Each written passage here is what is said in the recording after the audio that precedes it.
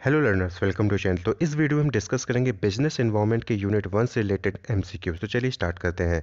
तो business environment आपको सभी को पता है कि इन्वायरमेंट ऐसा इन्वायरमेंट जहाँ पे बिज़नेस रन करता है कौन कौन से फैक्टर कौन कौन से इंस्टीट्यूशन से ऑर्गेनाइजेशन है कौन कौन से रूल हैं रेगुलेशन है जो कि किसी भी बिज़नेस ऑर्गेनाइजेशन को फॉलो करने पड़ते हैं, वो चीज़ें आपको इन सब्जेक्ट में पढ़नी होती है।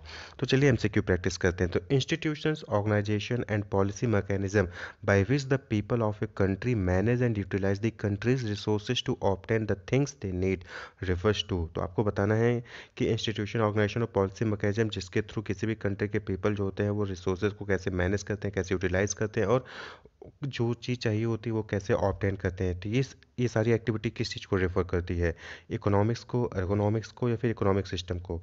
इकोनॉमिक्स आपको पता ही होगा कि क्या है। अर्गोनॉमिक्स यानी कि हम जिसमें कहते हैं वर्क लॉ होता है। वर्क लॉ यानी कि वर्क की स्टडी करते हैं। वहीं पर इकोनॉमिक सिस्टम क्या है? इकोनॉमिक सिस्टम का मतलब होता है कि एक ऐसा सिस्टम जहाँ पे उस कंट्री के पीपल किसी सोसाइटी के पीपल जो होते हैं वो कैसे अपने रिसोर्स को मेंटेन करती है, कैसे यूटिलाइज करती है और कैसे उनको जो चाहिए होता है वो ऑप्टेन करती है। तो यहाँ पे करेक्ट ऑप्शन क्या हो जाएगा? Option C economic system economic system एक ऐसा सिस्टम जहाँ पे कोई भी सोसाइटी में रहने वाले लोग अपने रिसोर्स को कैसे मैनेज करते हैं और जो उनकी अपनी नीड को फुलफिल करने के लिए कैसे वो यूटिलाइज करते हैं रिसोर्सेज को वो कहलाता है। नेक्स्ट है इकोनॉमिक सिस्टम इन्वॉल्व यानी इकोनॉमिक सिस्टम क्या इन्वॉल्व करता है? प्रोडक्शन डिस्ट्रीब्यूशन कंजम्पशन एक्सचेंज या फिर ऑप्शन ई ऑल तो आप देखिए इकोनॉमिक सिस्टम क्या है? इकोनॉमिक सिस्टम बट ऑब्वियस सी बात है कि अभी आपने ऊपर देखा कि कैसे अपने सिस्टम रिसोर्सेज को मैनेज करते हैं और कैसे उनको जो चाहिए होता है वो पाते हैं। तो ऑब्वियस सी बात है कि प्रोडक्शन इन्वॉल्व करता है डिस्ट्रीब्यूशन भी होगा कंजम्पशन भी होगा और एक्सचेंज भी होगा। तो इकोनॉमिक सिस्टम इन्वॉल्व्स ऑल यहाँ पे क्या हो जाएगा correct option option E all okay next question है कि which of the following may be termed as long term objective of Indian planning यानी आपको यहाँ पे बताना है कि नीचे दिए ऑप्शन में से किस ऑब्जेक्टिव को आप लॉन्ग टर्म ऑब्जेक्टिव कहेंगे इंडियन प्लानिंग के लिए। सेल्फ रिलायंस खुद पे निर्भर होना productive employment generation employment generate करना growth of seven percent per annum सात परसेंट पर एन एम जो है इंक्रीज करना है, फिर ग्रोथ इन इंफ्रास्ट्रक्चर तो ये चार चीज़ें कही गई। तो आपको बताना कि इनमें से कौन सा लॉन्ग टर्म ऑब्जेक्टिव है इंडियन प्लानिंग का? तो ऑप्शन ए है वन एंड टू यानी कि सेल्फ रिलायंस और productive employment generation option B है थ्री एंड फोर यानी growth of seven percent per annum and growth in infrastructure option C है वन टू फोर यानी कि self reliance productive employment generation and growth in infrastructure या फिर option D है two three four यानी कि productive employment generation growth of seven percent per annum और growth in infrastructure तो देखिए, आप यहाँ पे देखेंगे कि लॉन्ग टर्म ऑब्जेक्टिव्स क्या हो सकते हैं? वन टू और फोर ये growth of seven percent per annum ये जो है लॉन्ग टर्म ऑब्जेक्टिव नहीं हो सकता है। तो करेक्ट ऑप्शन क्या हो जाएगा? Option C one two and four next question है take off stage in an economy means take off stage मतलब क्या होता है कि कैसे कोई चीज़ शुरुआत हो रही है, यानी कि स्टार्ट होने वाली चीज़, उड़ान भरने वाली चीज़। तो ऑप्शन है steady growth begins option B है economy is stagnant option C economy is about to collapse या फिर ऑप्शन डी है ऑल कंट्रोल्स आर रिमूव्ड तो यहाँ पे क्या हो जाएगा टेक ऑफ़ स्टेप यानी कि ग्रोथ शुरू होने वाली है, उड़ान उड़, शुरू होने वाली है। तो steady growth begins option A the planning commission of India आपको बताना है कि नीचे दिए चार पॉइंट में से कौन सा ऑप्शन सही है? The planning commission of India was set up in 1950 is a constitutional body is an advisory body is a government department तो ऑप्शन ए है वन एंड टू यानी कि was set up in 1952 and is a constitutional body ये option सही है? या फिर option B two and three is a constitutional body and is an advisory body ये ऑप्शन सही है? या फिर ऑप्शन सी है वन एंड थ्री यानी was set up in nineteen and is an advisory body या फिर ऑप्शन थ्री ऑनली यानी कि इज़ एन एडवाइजरी बॉडी तो प्लानिंग कमीशन ऑफ़ इंडिया के लिए कौन सा पॉइंट जो है सही है? तो करेक्ट ऑप्शन है option C one and three कि planning commission of India was set up in 1950 and is an advisory body ये एडवाइस देता है गवर्नमेंट को। नेक्स्ट क्वेश्चन है the book wealth of nation was written by तो आपको बताना है कि जो वेल्थ ऑफ़ नेशन है, ये बुक किसने लिखी है? एरिक रोल ने जे एम कैनीज ने एडम स्मिथ ने या फिर हेरोल्ड लेस्की ने? तो करेक्ट ऑप्शन है यहाँ पे option C Adam Smith Adam Smith ने ही बुक जो है वेल्थ ऑफ़ नेशन बुक जो है वो लिखी हुई है। नेक्स्ट है नीति एन आई टी आई नीति in the NITI Aayog stand for तो आपको बताना है कि जो नीति आयोग है, आपने न्यूज़ में अक्सर इसको सुना होगा। तो नीति क्या क्या फुल फॉर्म होता है?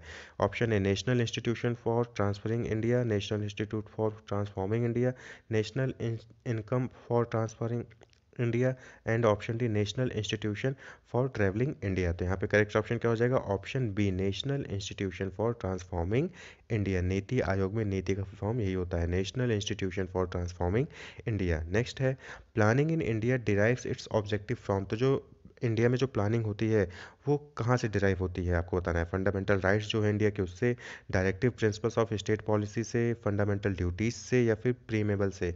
तो यहाँ पे जो करेक्ट ऑप्शन है, वो क्या है? Directive principles of state policy यहाँ से जो है प्लानिंग जो है, वो इंडिया डिराइव करता है अपने ऑब्जेक्टिव प्लानिंग इन इंडिया जो है, वो डिराइव्स इट्स ऑब्जेक्टिव जो ऑब्जेक्टिव होता है प्लानिंग का, वो directive principle of state policy से डिराइव किया जाता है।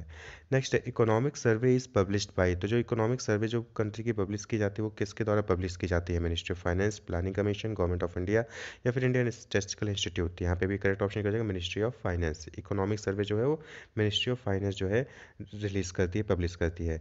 नेक्स्ट है the prices at which the government purchase food grain for maintaining the public distribution system and for building up buffer stock known as तो आपको बताना है कि वो प्राइस जिस पे गवर्नमेंट जो है वो परचेज करती है अनाज किसानों से, ठीक है? पब्लिक डिस्ट्रीब्यूशन सिस्टम को मेंटेन करने के लिए और बफर स्टॉक को मेंटेन करने के लिए। तो उस प्राइस को क्या कहते हैं? अभी हाल ही में अभी आप देख रहे होंगे किसान आंदोलन चल रहा है तो उस पर भी इस चीज़ के लिए बात हो रही है। तो आपको बताना है क्या ऑप्शन होगा? Option A minimum support price option B procurement price option C issue price या फिर ऑप्शन डी सीलिंग प्राइस तो यहाँ पे करेक्ट ऑप्शन क्या हो जाएगा? एमएसपी आप लोगों ने सुना होगा न्यूज़ में एमएसपी यानी कि मिनिमम सपोर्ट प्राइस कहते हैं उसको। तो प्राइस, ऐसा प्राइस जिस पे गवर्नमेंट जो है, अब फ़ूड ग्रेन फ़ूड ग्रेन्स जो है परचेज करती है प्रोडक्ट, पब्लिक डिस्ट्रीब्यूशन सिस्टम के लिए बफर स्टॉक को मेंटेन करने के लिए। नेक्स्ट क्वेश्चन है which of the following could not be considered a major economic system आपको बताना है कि नीचे चार ऑप्शन दिए हैं। इनमें से कौन सा मेजर इकोनॉमिक सिस्टम नहीं है? तो आप सभी को पता है कि इकोनॉमिक सिस्टम मेजर तीन टाइप के होते हैं। कैपिटलिज्म कम्युनिज्म और सोशलिज्म तो यहाँ पे बट ऑब्वियसली बात है कि ऑप्शन डी क्या होगा? वो नहीं है। Physical quality of life index ये जो है एक मेजर इकोनॉमिक सिस्टम नहीं है। और क्वेश्चन में यही पूछा गया कि कौन सा नहीं है? तो आपको बताना है। तो option D is the correct option next है मॉनेटरी पॉलिसी अफेक्ट्स आपको बताना है कि मॉनिटरी पॉलिसी किसको अफेक्ट करती है? रिज़र्व अनएम्प्लॉयमेंट को option B money supply interest rate को option C taxes exchange rate को, या फिर ऑप्शन डी है स्टॉक प्राइस और मिनिमम वेज को। तो मनी मॉनेटरी पॉलिसी मनी से रिलेटेड है मॉनिटरी पॉलिसी किसको फिट करती है? मनी सप्लाई और उसके इंटरेस्ट रेट को। तो ऑप्शन बी यहाँ पे करेक्ट ऑप्शन हो जाएगा money supply and interest rate next the Reserve Bank of India and the Federal Reserve ये क्या है आपको बताना है? रिज़र्व बैंक ऑफ़ इंडिया और फेडरल रिज़र्व क्या है? Are central banks, are branches of commercial bank, use physical policy to influence GDP या फिर loan money to most of LDC commercial bank. तो रिज़र्व बैंक ऑफ़ इंडिया, आपको पता है ये इंडिया की सेंट्रल बैंक है। वहीं पे फेडरल रिज़र्व क्या है? ये यूएसए की सेंट्रल बैंक है। तो Reserve Bank of India and Federal Reserve क्या हो गए? ये सेंट्रल बैंक्स हैं, आर सेंट्रल बैंक्स। नेक्स्ट है, economic growth can be measured by तो जो इकोनॉमिक ग्रोथ होती है किसी की कंट्री की, उसको किस टर्म से आप जो है मेजर करते हैं? सी से सी से जी से या फिर एमपीसी? तो करेक्ट ऑप्शन क्या है? किसी भी कंट्री की इकोनॉमिक ग्रोथ हम उसके जीडीपी से मेजर करते हैं। Gross domestic product. सीपीआई क्या होता है? Consumer price index. C central bureau of investigation और M marginal propensity to consume तो जो भी इकोनॉमिक ग्रोथ होती है किसी कंट्री की, उसको हम जीडीपी से जो है मेजर करते हैं। तो option C is the correct option next है most of the under develop economy suffer from dash which do not let the rate of growth go up from a lower level तो आपको बताना है कि कौन सा under under most of the under developed economy suffer from किस चीज़ से सफ़र होती हैं, जो most of the under developed economies होती हैं? हाई पॉपुलेशन प्रेशर से हाई इन्फेंट मोर्टेलिटी से ह्यूज मॉनेटरी मिसमैनेजमेंट से, या फिर high level of technological unemployment से? तो जो most of under developed economy हो किससे सफ़र होती है, जिसकी वजह से उनका जो रेट ऑफ़ ग्रोथ है, वो नीचे रहता है? तो करेक्ट ऑप्शन क्या हो जाएगा? Option A high population pressure यानी कि अगर किसी कंट्री की पॉपुलेशन ज़्यादा है तो फिर वहाँ पे जो है रेट ऑफ़ ग्रोथ जो है वो क्या होता है? कम रहता है। अंडर डेवलप्ड इकोनॉमीज में खास कर याद देखिएगा ऐसी कंट्री जो अंडर डेवलप्ड है, उनकी कंट्री की बात हो रही है तो वहाँ पर जो हाई प्रेशर होता है पॉपुलेशन का, उसकी वजह से उनका रेट ऑफ़ ग्रोथ क्या होता है? लो होता है। नेक्स्ट है the rate of growth of an economy mainly depends on तो rate of growth of economy किस पे डिपेंड करती है mainly rate of growth of the labour force the proportion of national income saved and investment invested या फिर the rate of technological improvement या फिर option D all of the above तो rate of growth of and economy है, वो किस पे depend करेगी? ऑल ऑफ़ द ऊपर के तीनों पे ही डिपेंड करेगी. Rate of growth of the labour force कैसे है? Proportion of national income saved and invested और रेट ऑफ़ टेक्नोलॉजिकल इंप्रूवमेंट इन तीनों पे ही किसी भी कंट्री की rate of growth of economy depend करेगी. नेक्स्ट है Marx attributed the capitalist crisis to तो जो मार्क्स ऑथर है, इन्होंने कैपिटलिस्ट क्राइसिस किसको जो है एट्रीब्यूट की यानी कि किस पे डिपेंड करती है? हाई रेट ऑफ़ वेजेस पे फॉलिंग रेट ऑफ़ प्रॉफिट पे इन्फ्लेशनरी प्रेशर पे या एक्सप्लोटेशन ऑफ़ लेबर पे? तो मार्क्स ने अपनी कैपिटलिस्ट में, आपको कैपिटलिस्ट इकोनॉमिक के बारे में पता भी है, वहाँ पे क्या होता था? एक्सप्लोटेशन होता था किसका? लेबर का। तो Marx attributed the capitalist crisis to exploitation of labour next है the number of death of children under one year of age per one thousand life birth is the आपको पता है कि एक हज़ार बच्चे जब पैदा होते हैं तो उस पर जो डेथ होती है एक साल से पहले तो उसको आप क्या कहेंगे?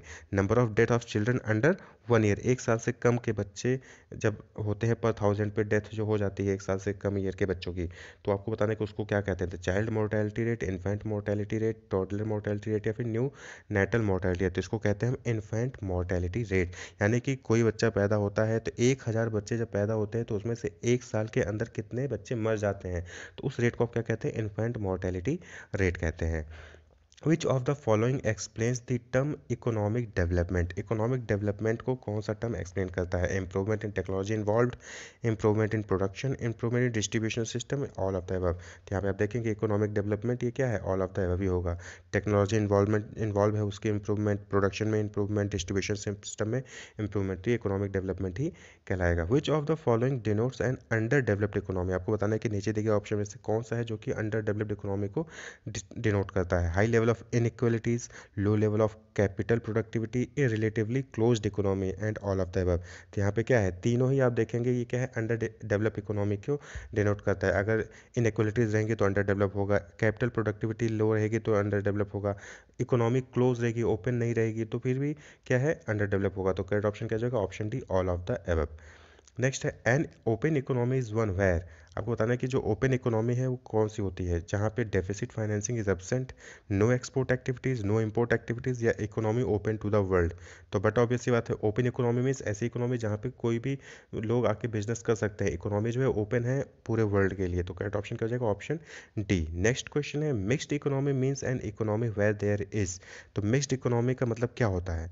Existence of capitalism privatisation liberalisation and globalisation existing of both public and private sector या फिर option D growing crops along with learning rearing animals तो देखिए मिक्सड इकोनॉमी क्या होता है? आपने पढ़ा होगा कि मिक्सड इकोनॉमी जहाँ पे पब्लिक ऑर्गेनाइजेशन और प्राइवेट ऑर्गेनाइजेशन दोनों ही ऑर्गेनाइजेशन सेक्टर जो है काम करते हैं एक साथ मिलकर। तो करेक्ट ऑप्शन क्या जाएगा? Option C existence of both public and private sectors next question है industrial policy refers to the government policy towards तो इंडस्ट्रियल पॉलिसी किस चीज़ को रिफर करता है गवर्नमेंट पॉलिसी को? इंडस्ट्रियल स्टेब्लिशमेंट पे इंडस्ट्रियल फंक्शनिंग पे इंडस्ट्री ग्रोथ एंड मैनेजमेंट पे फिर ऑल ऑफ़ द वेब पे? तो बट ऑब्वियसली किसी भी गवर्नमेंट पॉलिसी की इंडस्ट्रियल पॉलिसी जो होती है वो ऑल ऑफ़ द तीनों पे ही फोकस करती है। इंडस्ट्री एस्टेब्लिशमेंट पे, उसकी फ़ंक्शन पे, उसके ग्रोथ एंड मैनेजमेंट पे भी करती है। Next new industrial policy 1999 1991 was announced तो जो न्यू इंडस्ट्रियल पॉलिसी थी 1991 वो किसके द्वारा अनाउंस की गई थी? Announced by mister P V Narasimha Rao doctor Rajendra Prasad doctor mister Y B Reddy या फिर मिस्टर वेंकटेश राव तो करेक्ट ऑप्शन है यहाँ पे mister P V Narasimha Rao जिन्होंने ट्वेंटी जुलाई 1991 को न्यू इंडस्ट्रियल पॉलिसी 1991 वन जो है वो अनाउंस की थी। तो ये थोड़ा सा लर्निंग वाले क्वेश्चन है जो कि आपको मेमोरी में याद रखने पड़ेंगे। Which policy is known as new economic policy आपको बताना है कि कौन सी पॉलिसी न्यू इकोनॉमिक पॉलिसी जानी जाती है? इंडस्ट्रियल पॉलिसी 1948 इंडस्ट्रियल पॉलिसी 1956 1977 या फिर इंडस्ट्रियल पॉलिसी 1991 तो अभी आपने जस्ट देखा था।